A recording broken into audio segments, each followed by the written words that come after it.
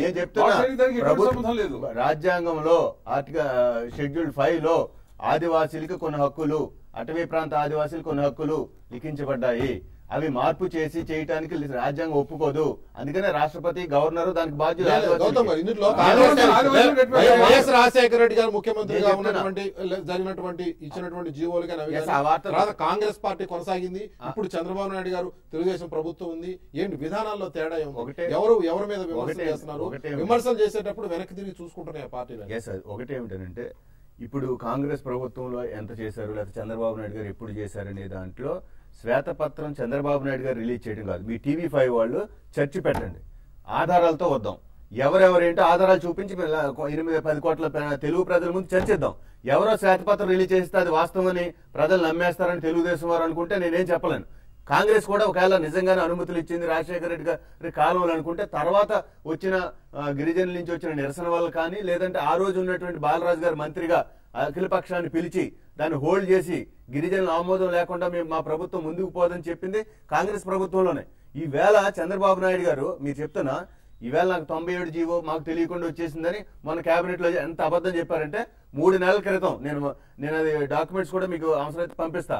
మూడు నెలల క్రితం సుజనా చౌదరి గారు విశాఖపట్నం వెళ్ళి బాక్సైడ్ తవ్వకాలు చేపట్టబోతున్నామని ప్రకటించాడు. ఒక మంత్రి ఒక ఒక ఒక కేంద్ర మంత్రి ఒక ఎంపీ ఒక తెలుగుదేశం పార్టీ నేత ఎట్లా ప్రకటిస్తాడు? నాకు తెలియకుండా జీవో వచ్చేసిందని చెప్పడానికి. కనుక ఇలాంటి అబద్ధాలన్నీ శ్వేతపత్రాలు రిలీజ్ చేస్తే రెండు వేలలో పంతొమ్మిది తొంభై నుంచే చంద్రబాబు నాయుడు గారు ఈ ప్రయత్నం చేశాడని ఈవేళ ఆధారాలతో సహా చెప్పగలం. గిరిజన అడ్వై అడ్వైజరీ కమిటీ సలహా మండలి చేత తీర్మానం చేయించారు విశాఖపట్నంలో. ఇవన్నీ ఆధారాలు ఉన్నాయి. కనుక ఒకటే బాక్సైడ్ తవ్వకాల మీద ప్రభుత్వానికి ఒక నిజంగా ఒక పాలసీ ఉంటే మీరు ఎక్కడ గతంలో. మాట్లాడిన దానికి అనుగుణంగానే ఎక్కడ కూడా. చేయకూడదని మీరు అంటారు. నేను- అమ్మ- అంబట్రామ గారు అంబట్రామ గారు నిన్న అన్నారు బాక్సైడ్ మీద కాదు ముడుపులపై శ్వేతపత్రం విడుదల చేయాలని. గతంలో కూడా వైసీపీ మీద చాలా ఆరోపణలు వచ్చినాయి. అటువంటిప్పుడు ఏమైనా మీరు ఇటువంటి చర్యలకు దిగారా? ఇది ముడుపుల మీద శ్వేతపత్రం అనే మాట ఏంటి అసలు? ఆ- మాట ఎందుకు వచ్చింది? రాంబాబు గారు. ఒకటండి ఒకటి జరుగుతున్న పరిణామాలు మనం చూస్తున్నాం. బాక్సైడ్ తవ్వకాలు చేయడం ద్వారా నిర్వాసితులైనటువంటి గిరిజనులకు ఆశ్రమం కల్పించడం అది ఒక వేరే సబ్జెక్ట్. అయితే ఇక్కడ జరుగుతున్నది ఏంటంటే రాజశేఖర రెడ్డి గారి టైంలో ఇది రసాయకాయ మాకు ఇచ్చినప్పుడు చంద్రబాబు నాయుడు గారు ఏం మాట్లాడారు? ఏమి చంద్రబాబు నాయుడు గారు ఒక ఉద్యమం చేసి బాక్సైడ్ తవ్వకాలకు వ్యతిరేకంగా గిరిజనులకు అండగా ఉంటామని చెప్పి ప్రగల్భాలు పలికినటువంటి చంద్రబాబు నాయుడు గారు మళ్ళీ ఇవాళ ఆ మాట మీద ఎందుకు నిలబడటం లేదు? రాజశేఖర రెడ్డి గారు ముఖ్యమంత్రిగా ఉన్నప్పుడు తీసుకున్నటువంటి స్టాండ్ని చంద్రబాబు నాయుడు గారు ముఖ్యమంత్రిగా అయిన తర్వాత ఎందుకు మారింది అనేది ఇక్కడ చాలా కీలకమైనటువంటి అంశం. పై ఇంకో అంశం ఏంటంటే రెండు వేల పదకొండులో చంద్రబాబు నాయుడు గారు గవర్నర్కి ఇచ్చినటువంటి లేఖలో బాక్సైడ్ తవ్వకాలకు సంబంధించి ఇనిషియేట్ చేసింది నేనేనని స్వయంగా ఆయన అంగీకరించాడు. రెండో అంశం ఏమిటంటే ఇందాక గౌతమ్ గారు చెప్పినట్టుగా జీవో నాకు తెలియకోకుండా వచ్చిందంటారేంటే నాకు అర్థం కాదు. ఈ రాష్ట్రంలో ఒక ముఖ్యమంత్రి నాకు జీవో తెలియకోకుండా వచ్చిందంటే ఏమిటి అడ్మినిస్ట్రేషన్ జరుగుతున్నది ఇది మొదటిసారి కాదు. ఇంతకు ముందు ఒకసారి విజయ్ గారు మీరు గుర్తుపెట్టుకోండి తుళ్ళూరులో ల్యాండ్ ఎక్విజేషన్ కోసం ఇచ్చినప్పుడు కూడా ఈ జీవో చంద్రబాబు నాయుడు గారు తెలియకుండా మేము ఇచ్చామని మళ్ళీ బ్యాక్ చేసుకున్నారు.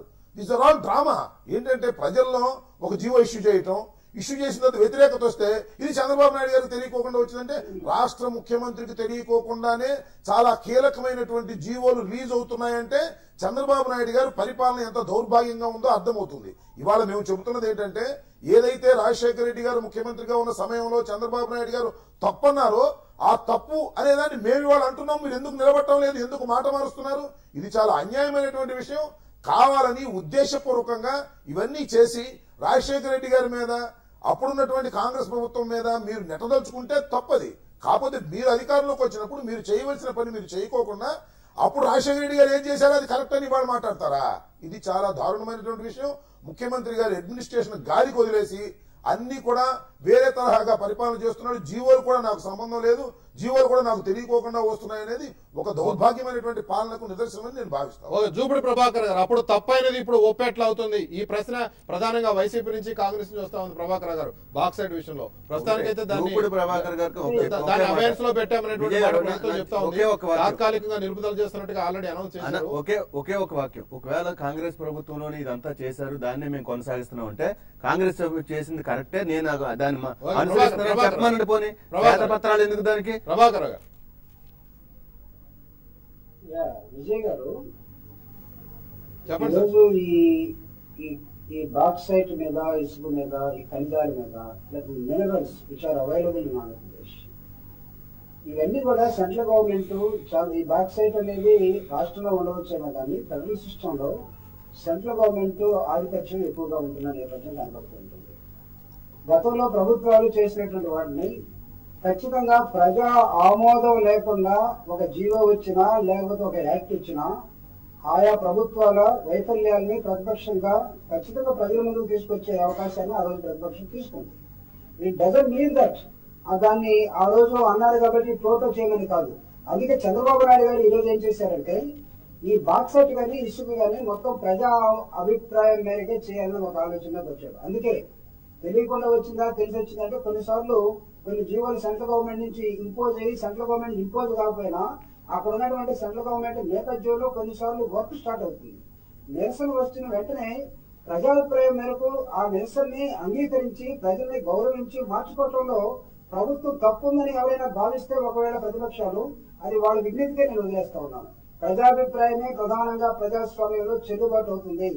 ప్రజాభిప్రాయానికి వ్యతిరేకంగా ఎవరు ఎలాంటి నిర్ణయం తీసుకున్నా మళ్ళా చరిత్ర ఎలా ఉంటుందో తెలియ తెలుసుకోవాలి. ఈ రోజు ప్రజాభిప్రాయం మేరకే ఈ బాక్సైట్ మీద కానీ ఖనిజాల మీద కానీ ఇసుక మీద కానీ అనేకమైన నిర్ణయాలు తీసుకోవాలని తెలుగుదేశం పార్టీ భావిస్తుంది. ఆ క్రమంలోనే వచ్చినటువంటి జీవోని అక్కడ నిరసనలు వస్తాయని గ్రహించలేక కూడా కాదు. నిరసనలు వచ్చాయి. ఇందాక నరసింహరావు గారు చెప్తున్నట్టుగా దాన్ని తీయకూడదు ఆ బాక్సైట్ని అలా ఉంచాలి అనే నిర్ణయం ఏ రాజకీయ పార్టీ చేయలేదు చేయలేదు. చేయకూడదు కూడా. కానీ ఉన్నటువంటి అవకాశాన్ని ఏ విధంగా ఆ ప్రాంత ప్రజల భాగస్వామ్యంతో చేయాలో అది ఈరోజు తెలుగుదేశం పార్టీ భావిస్తా ఉంది. అది చంద్రబాబు నాయుడు గారు చేస్తుంది. గతంలో వచ్చిన జీవోలు మీకు ప్రజల భాగస్వామ్యం లేకుండా అక్కడ ఉన్నటువంటి ట్రైబల్స్ భాగస్వామ్యం లేకుండా వాళ్ళ ఆలోచన విధానం తీసుకోకుండా మీరు ఏదైనా అహంకారంతో చేస్తుంటే ఖచ్చితంగా వాళ్ళు నిర్వహిస్తారు ప్రభాకర్ లేదా ప్రభాకర్ గారు ప్రజల భాగస్వామ్యం అనే మాట వాడారు మీరు గిరిజనులకు ఒక యాభై శాతం వాటా అయిపోతున్నారా అక్కడ ఉన్నటువంటి గిరిజనులకు ఒక యాభై శాతం అయిపోతున్నారా? సెవెన్ జీవో లేదా ముప్పై విజయ్ శాతం గారు వాటా అయిపోతున్నారా ఏంటి? ఈ నైన్టీ సెవెన్ జీరో జీవో ప్రజల భాగస్వామ్యంతో వచ్చిందా చెప్పండి సార్. ఒక్క నిమిషం, ప్రభాకర్ గారు చెప్పండి. ప్రజల భాగస్వామ్యం తోటి ప్రజల ప్రజలు ఏ ప్రజలైతే అక్కడ నివసిస్తూ ఉన్నారో ఏ ప్రజలైతే మాకు మా గూడెంకి తెలియకుండా ఇక్కడ జరగటానికి లేదని వెపన్స్ తీసుకొచ్చారో ఖచ్చితంగా వాళ్ళు ఇన్వాల్వ్ చేయబోతా ఉన్నాం. వాళ్ళకి ఏ మాత్రం ఏ మాత్రం పర్సెంటేజ్ ఉంటుంది? లేకపోతే వాళ్ళకి బెటర్ లైఫ్ ఇవ్వడం కోసం. సి విజయ్ గారు ఇక్కడ మనం కొన్ని అంశాల్ని గతంలో వాళ్ళు చేశారు కాబట్టి అప్పుడు వ్యతిరేకించారు కాబట్టి అప్పుడైనా ఇప్పుడైనా తెలుగుదేశం పార్టీ చేస్తున్న నేపథ్యం ఏంటంటే అక్కడ ఉన్నటువంటి గిరిజనులు మీరు ఒకసారి మీరు ట్రైబ్స్ చూసినట్టు ఆంధ్రప్రదేశ్లో ముప్పై ఐదు సంవత్సరాలకే మార్కాపురం గిద్దరంలో ఉన్నటువంటి చిన్న చనిపోతారండి. The life is end at the age of thirty five age of human life in India is sixty eight years అంటే ఈ ముప్పై ఐదు సంవత్సరాలకి అడవుల్లో ఉన్న వాడిని అలానే చంపేద్దామా? వాడు బెటర్ లైఫ్ అవసరం లేదా? సెంట్రల్ గవర్నమెంట్ స్టేట్ గవర్నమెంట్ ఇస్తున్నటువంటి అనేకమైన అసిస్టెన్స్ తోటి ఆంధ్రప్రదేశ్ ప్రభుత్వం చంద్రబాబు నాయుడు గారు ఈ రోజు కూడా వాళ్ళకి బెటర్ లైఫ్ ప్రభాకర్ గారు ఈ బాక్సైడ్ తవ్వకాల ద్వారా ఆ ప్రాంతంలో ఉన్న యొక్క గిరిజనుల యొక్క లేదా ఈ బాక్సైడ్ తవ్వకాల ద్వారా ఆ ప్రాంతంలో ఉన్న యొక్క గిరిజనుల యొక్క సాంఘిక హోదాని కానీ లేకపోతే వాళ్ళ ఆర్థిక పరిస్థితిని కానీ ఏ విధంగా పెంచబోతున్నారు చెప్పండి. దానికి ఇప్పుడు గతంలోనే ఆల్రెడీ ఉన్నాయి. ప్రభుత్వానికి వచ్చే రాయల్టీలో ట్వంటీ ఫైవ్ పర్సెంట్ ఖనిజ విక్రయాల ద్వారా పొందే ఆదాయంలో ట్వంటీ పర్సెంట్ అల్యూమినియం కర్మాగారం సాధించే లాభాల్లో జీరో పాయింట్ ఫైవ్ పర్సెంట్ గిరిజనుల ఆర్థిక సామాజిక ప్రగతికి వెచ్చించాలనేది గతంలో నిబంధన ఉంది. ఇప్పుడు అప్పట్లో దాన్ని వ్యతిరేకించాం కాబట్టి ఇప్పుడేమన్నా దీన్ని ఇంకా పెంచుతారా? మొత్తం వాళ్ళందరినీ కూడా అసలు ఆ ప్రాంతం నుంచి ఒక మెరుగైన ఒక జీవన ప్రమాణాలు పెంచే దిశగా ఏమైనా కొత్తగా మార్పులు చేయబోతున్నారా? ఆ మార్పులు చేసి తవ్వకాలకు మీరు పర్మిషన్ ఇస్తారా? గతంలో ఉన్నటువంటి నిబంధనల ప్రకారమే పర్మిషన్ ఇస్తారా? ఎగ్జాక్ట్లీ విజయ్ గారు రైట్లీ పాయింటెడ్ అవుట్ అక్కడ ప్రజల భాగస్వామ్యం తోటి ఎందుకంటే అక్కడ ఎందుకున్నటువంటి ప్రభుత్వ ఐ మీన్ పంచాయతీలు కానీ సర్పంచులు కానీ లేకపోతే ఎంపీటీసీలు కానీ వీళ్ళందరూ ఉన్నారు. వాళ్ళ అభిప్రాయాలు తీసుకోవాలి ఇర్రెస్పెక్ట్ ఆఫ్ పొలిటికల్ పార్టీస్. ఇక్కడ ఆ గతంలో లేకపోతే ఎన్ని పక్కన పడేయండి. ఇక్కడ ఒక నూతన పాలసీ ప్రజా అభిప్రాయం మేరకు తీసుకురావడం కోసం చంద్రబాబు నాయుడు గారు ఒక ప్రయత్నం చేస్తా ఉన్నారు. ఈ ప్రయత్నంలో ఒక జీవో సెంట్రల్ గవర్నమెంట్ వచ్చింది కాబట్టి ఇక్కడ ముఖ్యమంత్రికి తెలియకుండా జరిగిపోయింది. కాబట్టి ఇది అసమర్థ చాలా విషయాలు. రాంబాబు గారు సెంట్రల్ గవర్నమెంట్ నుంచి వచ్చి ఉండొచ్చు. దాన్ని యాజ్గా స్టేట్ గవర్నమెంట్లో ఆటోమేటిక్గా ఇంప్లిమెంటేషన్లోకి వెళ్ళి ఉండొచ్చు అనేటువంటి వాదన చేస్తున్నారు ప్రభాకర్ గారు. రా- రాంబాబు గారు. రాంబాబు గారు. ఒకటి విజయ్ గారు ఇక్కడ గమనించవలసింది ఏమిటంటే అక్కడ ఉన్నటువంటి గిరిజనులకు ఏ భాగస్వామ్యం ఇస్తారు వారి పునరావాసం ఏ విధంగా కల్పిస్తారు అనేది నైన్టీ సెవెన్ జీవో ఇష్యూ చేయకముందు జరగవలసినటువంటి డిబేట్. అది జరగకోకుండా ఇష్యూ చేసేసి ఏమంటే నాకు తెలియగలుగుతాను రాష్ట్ర ప్రభుత్వానికి కేంద్ర ప్రభుత్వం ఇచ్చిన ఆదేశాలు ముఖ్యమంత్రికి తెలియకోకుండానే ఇంప్లిమెంట్ అవుతున్నాయనే విషయాన్ని నమ్మాలండి. ఇది సాధ్యపడేటువంటి అంశమా? నేను ఒకటే కోరుకునేది ఏమిటంటే తొంభై ఏడు జీవోలు ఇష్యూ చేసే ముందు అక్కడ ఉన్నటువంటి పరిస్థితులు ఏమిటి? దాని మీద అవగాహన వచ్చిన తర్వాత ఇదేమి నూతనమైన ఇష్యూ కాదు.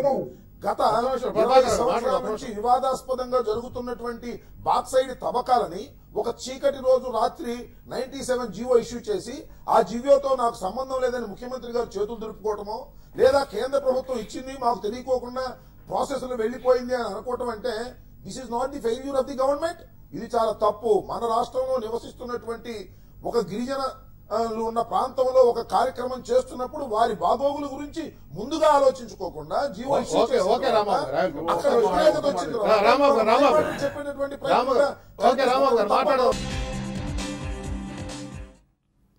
Welcome back. నరసింహరావు మీరు గిరిజనులు మాట కానీ ప్రభుత్వాలు పార్టీలు ప్రతిపక్షంలో ఉన్నప్పుడు ఒక రకంగా అధికార పక్షంలో ఉన్నప్పుడు ఒక రకంగా వ్యవహరిస్తాం అనేది మనం చాలా సందర్భాలు చూస్తున్నాం. బట్ బాక్సైట్ విషయంలో కూడా ఇట్లా యూటర్న్ తీసుకున్నారని అనుకోవచ్చా? ప్రభుత్వాలు లేదు, ఏ పార్టీ అయినా సరే వైఎస్ఆర్సీపీ కానీ తెలుగుదేశం కానీ కాంగ్రెస్ కానీ ఎవరైనా సరే బాక్సైట్ మీద మా పాలసీ ఇది ఐరన్ ఓర్ మీద మా పాలసీ ఇది అని పాలసీ స్టేట్మెంట్స్ పాలసీ ఎప్పుడైనా ప్రకటించడం జరిగిందా?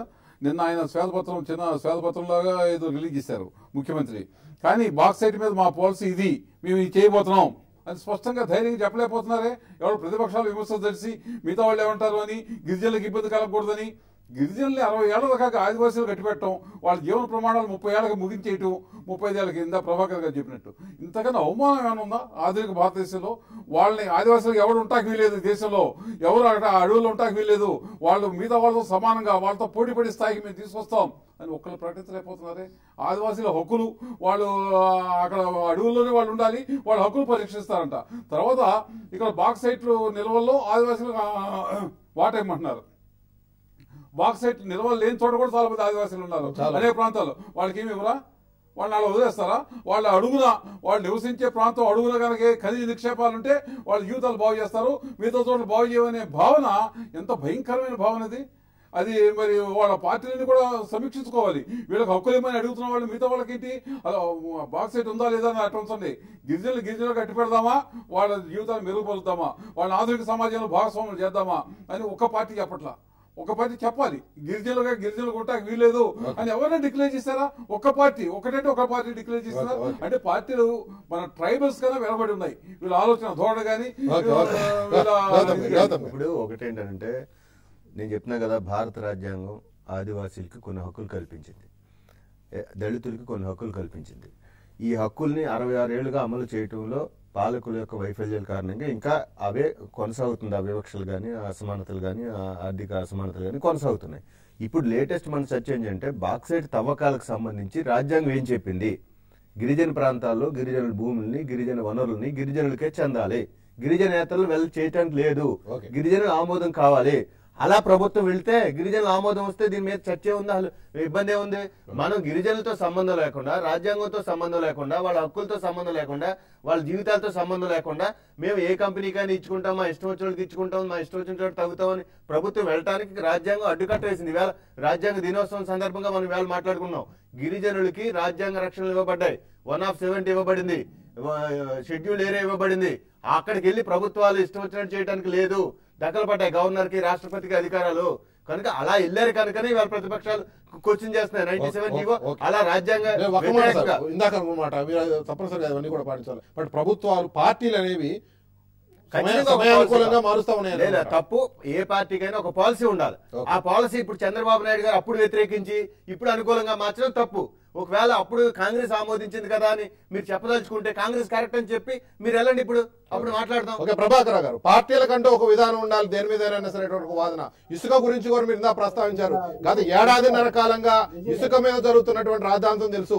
విపరీతంగా ధర పెరిగిపోయింది. ఆంధ్రప్రదేశ్లో ఇసుక అనేది కిలో బియ్యం రూపాయి దొరుకుతా ఉంది కానీ కిలో రూపాయి కంటే ఎక్కువగా ఇసుక అమ్ముతుంది అనేటువంటి ఒక పరిస్థితి కూడా చూసాం మనం. బట్ ఇప్పుడు ఇసుక మీద ఒక విధానపరం మారాలి శ్వేతపత్రం విడుదల చేయబోతామని చెప్పి అంటున్నారు. కాబట్టి ఇలాంటి విషయాల్లో ప్రభుత్వాలు ఒక విధానపరంగా వెళ్ళాలి.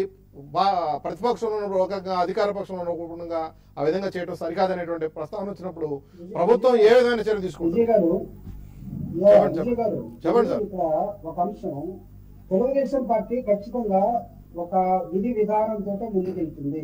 చంద్రబాబు నాయుడు గారు ఇటీవల తిరుపతిలో జరిగినటువంటి సభల్లో కూడా ప్రతిపక్షం ఏదో ప్రశ్నిస్తేనో అప్పుడు మనం పాలకపక్షం పనిచేయాల్సిన అవసరం లేదు.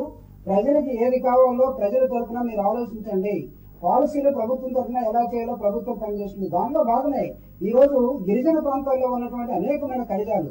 ఈ రోజు ఇందాక మన మిత్రుడు చెప్పినట్టుగా ఈ రోజు ఎక్కడ కూడా ఆయా లోకల్ ప్ర- ప్రజల అభిప్రాయాలు భిన్నంగా ప్రభుత్వం పోదలుచుకోలేదు ఈ రోజు ఇక్కడ ఒక పాలసీ విధానాన్ని ప్రజాభిప్రాయంతో తీసుకురావడం కోసమే అక్కడ ఒక లోకల్గా టోల్ ఫ్రీ నెంబర్ ఇవ్వడం జరిగింది. దీనికోసం ఒక వెబ్సైట్ పెట్టడం జరిగింది. మోస్ట్ రెఫరెండం లాగా లో టోల్ ముందుకు వెబ్సైట్లు అన్న ఒక మాట అన్న గిరిజనులకి టోల్ ఫ్రీను వెబ్సైట్లు పెట్టి మీరు ప్రజాభిప్రాయ సేకరణ చేస్తారనే దాంట్లో ఆలోచించండి. ప్రభాకర్ గారు ఒక మాట ఏంటంటే బేసిక్గా ఒక మాట ప్రభాకర్ గారు. అసలు బాక్సైడ్ తవ్వకాలే వద్దన్నాం గతంలో. ఇప్పుడు అసలు ఎందుకు తవ్వకాలు జరుపుదాం? భాగస్వామ్యంతో జరుపుతాం అనే మాట వస్తా ఉంది. ఆ ప్రశ్నకి ఏమైనా సమాధానం చెప్పగలుగుతుందా వస్తున్నాను వస్తున్నాను. ఒక అంశాన్ని రిఫైన్ చేసుకోవడం తప్పలేదు. డెమోక్రసీ ఎప్పుడు మీకు అందంగా కనబడుతుందంటే ప్రజలు ఇన్వాల్వ్ చేసినప్పుడు అందంగా కనబడుతుంది. ఆ రోజు ఒక నిర్ణయం చేసి ఉండవచ్చు ఈ రోజు ఆ నిర్ణయాన్ని ప్రజల భాగస్వామ్యంతో తీసుకోవాలంటే what is your objection I don't understand ముఖ్యమంత్రి గారు శ్వేతపత్రం అన్నారు. మీరు చెప్తున్నట్టుగా లేదు కదా మీ ప్రభుత్వం. అన్న. మీరు చెప్తున్నట్టుగా ప్రభుత్వం జీవో ఇచ్చే ముందు చర్చించిందా. నేను తిరుపతిలో ఉన్నాను వాళ్ళు స్టూడియోలో మాట్లాడు, మాట్లాడు. ఒక నిమిషం. మీరు కూడా స్టూడియోలో ఉన్నారు, తిరుపతి అలా- స్టూడియోలో. అలా చేయండి మాట్లాడండి ఎందుకంటే మీరు ప్రభుత్వాన్ని ప్రశ్నించేటప్పుడు ప్రభుత్వ సమాధానం కూడా వినాలండి ఫినిష్ చేయండి ప్రభాకర్ గారు సమయం తక్కువ ఇంప్రెషన్గా ప్లీజ్ ఉంటే అట్లా మాట్లాడండి వినండి ఇక్కడ ప్రభుత్వం ప్రభుత్వం ఇక్కడ ఉన్నటువంటి బాక్సైట్ మీద కానీ లేదా ఇసుక మీద కానీ రకరకాల ఖనిజాల మీద కానీ లేదా అనేకమైన విషయం ప్రజాభిప్రాయం చేయటం ఆ పార్టీలు ఏమైనా తప్పంటాయా చెప్పండి ప్రజాభిప్రాయం తీసుకోవద్దు. ఇష్టం వచ్చినట్టు జీవోలు చేయమంటే అది గత ప్రభుత్వాలు చేసేయేమో ఇప్పుడు ఈ ప్రభుత్వం చంద్రబాబు నాయుడు గారు చాలా స్పష్టంగా ముందుకు పోతున్నటువంటి నేపథ్యం ఏంటంటే ఆయా లోకల్ ప్రజల అభిప్రాయాన్ని తీసుకోకుండా పోవడానికి వీల్లేదు. దానికోసమే ఒక టోల్ ఫ్రీ నంబర్ కానీ ఒక వెబ్సైట్ కానీ పెట్టడం జరిగింది. దాని ద్వారా అభిప్రాయం రానివ్వండి. ఆ అభిప్రాయాలు తగ్గట్టుగా పాలసీ ఉంటుంది. ఈ పాలసీ ఇంకొక అంశం నేను చెప్తున్నాను. పాలకపక్షంగా నేను చెప్తున్నాను ఈ policy it is not going to the contradiction contradiction of the other activities of the constitution ఖచ్చితంగా రాజ్యాంగంలో ఏ విధంగా అక్కడ ఉన్నటువంటి ట్రైబల్స్ హక్కులు ఇవ్వబడ్డాయో ఆ హక్కుల మొత్తాన్ని కూడా. గౌరవిస్తూనే వాళ్ళ. అభిప్రాయాలు తీసుకుని వాళ్ళ జీవితాన్ని. మెరుగుపరచడం కోసమే తెలుగుదేశం పార్టీ ఏదైనా సరే బాక్సైట్ కానీ ఇసుక. లేదా ల్యాండ్స్ కానీ ఏదైనా కానీ ప్రజాభిప్రాయం ప్రకారమే మేము వెళ్తాం వెళుతున్నాము వెళతాము ఒకవేళ గతంలో ఏదైనా మాట్లాడుంటే అంతకంటే బెటర్గా ఉంది ఇప్పుడు అనుకున్నప్పుడు దాని నుంచి బయటకు వచ్చి దానికి అనుగుణంగా వ్యవహరించడంలో కూడా తప్పులేదు అన్నారు ప్రభాకర్ గారు రాంబాబు గారు. Okay okay. విజయ్ గారు ఒక విషయం చెప్తా. బాక్సైడ్ తవ్వకాలు విశాఖ మన్యంలో కొత్తగా ఊడిపడినటువంటి సమస్య కాదు. ఇది చంద్రబాబు నాయుడు గారు ముఖ్యమంత్రిగా ఉన్నప్పటి నుంచి నలుగుతున్నటువంటి సమస్య. చంద్రబాబు నాయుడు గారు ఒక ప్రయత్నం చేశారు తర్వాత రాజశేఖర రెడ్డి గారు ఒక ప్రయత్నం చేశారు. రాజశేఖర గారు ప్రయత్నం చేసినప్పుడు చంద్రబాబు నాయుడు గారు తీవ్రంగా వ్యతిరేకించినటువంటి సందర్భాన్ని కూడా మనం చూస్తున్నాం. ఇవాళ ఏం పరిస్థితులు మారాయి? ఒకటి. రెండోది ఏంటంటే అక్కడ గిరిజనుల హక్కులను కాపాడుకుంటూ అక్కడ బాక్సైడ్ తవ్వకాలని ఖనిజాలని తీసుకోవచ్చు అనేది నిర్వివాద అంశం ఎందుకంటే అక్కడ వాళ్ళ హక్కుల పరిరక్షణ జరుగుతూ వాళ్ళకి అన్యాయం జరగకోకుండా మన ఖనిజ సంపదను జాతికి తీసుకోవాల్సిన అవసరం ఉంటుంది. కానీ మీరు జీవో ఇష్యూ చేసినప్పుడు వారి గురించి ఏమి ఆలోచించారు? వారి గురించి ఏమి చర్చలు జరిపారు? ఏదో వెబ్సైట్ పెట్టాము దానిలో చేస్తామంటే గిరిజనులకి వెబ్సైట్కి సంబంధం ఏముందండి? ఇది ముందుగా మొండిగా ఇచ్చేసి తర్వాత జరిగినటువంటి పరిణామాలకు సమాధానం చెప్పుకునేటటువంటి పరిస్థితుల్లోనే ఇవాళ తెలుగుదేశం ఉన్నది. ఇది దారుణమైనటువంటి వ్యవహారం. ఇవాళ మనం చూస్తున్నాం ఖనిజాల వ్యవహారంలో ఇసుకలో ఒక్క సంవత్సరంన్నర పాటు ఎంత దోపిడీ చేశారు తెలుగుదేశం పార్టీ నాయకులు కార్యకర్తలు? అంతేకాదు మన జరిగినటువంటి పట్టసీమ దానిలో నాలుగు వందల తొంభై కోట్లు కాజేశారు. దీనిలో కూడా ఏదో ఒక విధంగా కాజేయాలనేటువంటి దుర్బుద్ధితో ఇచ్చినటువంటి జీవో తప్ప చంద్రబాబు నాయుడు గారు ఉద్దేశపూర్వకంగా ఇచ్చి వేల కోట్ల రూపాయలు దీనిలో ఆర్జించాలనే దుర్బుద్ధితో ఇచ్చారు. దానికోసమే బొత్స సత్యనారాయణ గారు ఇవాళ మీ ముడుపుల సంగతి కూడా ఓకే ప్రభాకర్ గారు సమయం తక్కువ ఉంది. ఆ- ఆ- ఆ ఆరోపణ చేశారు కాబట్టి చెప్పండి. అడిగారు ముడుపుల మీద శ్వేతపత్రం వేల కోట్లు వందల కోట్లు జరుగుతా ఉన్నాయని చెప్పి రాంబాబు గారు ఆరోపణ. ప్రభాకర్ గారు సమయం తక్కువ ఉంది మీరు ఆ అంశం మీద రియాక్ట్ ప్రతిపక్షాలు అంతకన్నా ఎక్కువ మాట్లాడే వాళ్ళకి అది లేకపోతే నేనేం చేయలేదు. ఈ రోజు ప్రజాభిప్రాయాన్ని తీసుకొని గతంలో ఉన్నటువంటి అభిప్రాయాన్ని ఒకవేళ బెటర్గా ఉంటే మార్చుకోవట్లో తప్పు లేదా ప్రభాకర్ గారు కేవలం ముడుపుల కోసం ముడుపుల కోసం అనేటువంటి ఒక విమర్శ? అయ్యండి. అదే జీవో ఇష్యూ చేసే ముందు గతంలో ఉన్నటువంటి- ప్రజాభిప్రాయం ఎందుకు గాలి వదిలేశారు చంద్రబాబు నాయుడు ప్రభాకర్ రావు గారు గారు మాట్లాడండి ఆ ఒక్క విషయం మీద మాట్లాడండి ఈ ఈ ఈ జీవో ఈ జీవో సెంట్రల్ గవర్నమెంట్ ఇష్యూ చేసినట్టు ఒక జీవో అని రాష్ట్ర ప్రభుత్వం ప్రజల అభిప్రాయాలు రాష్ట్ర ప్రభుత్వానికి సంబంధం లేనట్టుగా? రెండవది ఇవన్నీ. మాట్లాడే వాళ్ళు ఒక నిమిషం అండి ఒక నిమిషం ఈ ముడుపులు ఇంటి గురించి ఫైనల్ మాట్లాడే ఓట్ వాళ్ళు చెప్తాను. సమయం లేదు, సమయం- సమయం లేదు. సెవెన్ జీవోని withdraw వాళ్ళని- చేశారు, hold చేశారు. వాళ్ళని- ఓకే, ఒకటే మాట. ఒక్క విషయం అండి, ఒక్క మాట. పూర్తిగా నేను ఒక నిమిషం. 97 జీవోని hold చేశారు గవర్నమెంట్ మేము కోరుతున్నాం దాన్ని విత్డ్రా చేస్తున్నట్టు ప్రకటించండి అఫీషియల్గా గా ప్రకటించండి ఆ రోజు ఈ రోజు ఎస్ ఈ రోజులో మాట్లాడవచ్చు ఈ రోజు Yes, మీరు ఓకే, తొంభై ఓకే, ఏడు సార్, ఓకే. జీవోని withdraw చేసుకున్నట్టుగా ప్రకటించండి. ప్రభుత్వం విధాన ప్రకటన చేస్తే ఓకే ఓకే సార్ ఓకే ఇదే ఇందాక ఓకే ప్రభాకర్ రావు గారు నరసింహరావు గారు అన్నట్టు ఇందాక గౌతమ్ గారు అన్నట్టు చేశారు. ప్ర- పార్టీలన్నింటికీ కూడా ఖనిజాల మీద వాటి మీద ఎలా తవ్వాలి లేకపోతే ఏం చేయాలి ఒక పాలసీ ఉండాలి ఆ పాలసీ ప్రకారం మాట్లాడి ఓసారి ఒక రకంగా అధికారంలో ఉన్నప్పుడు ఒకటి ప్రతిపక్షంలో ఉన్నప్పుడు ఒకటి మాట్లాడితే తప్పనిసరిగానే ఆ ఇష్యూస్ అనేవి ఇట్లాంటి పరిస్థితులకు దారితీస్తాయి చూద్దాం తర్వాత ఏం జరుగుతుంది. థ్యాంక్ యూ వెరీ మచ్ అమ్మటి గారు ప్రభాకర్ గారు గౌతమ్ గారు నరసింహరావు గారు చర్చలో పాల్గొందుకు ఇది ఈ రోజు న్యూస్ క్యాన్ రేపు న్యూస్ క్యాన్లో మళ్ళీ వెళ్తాం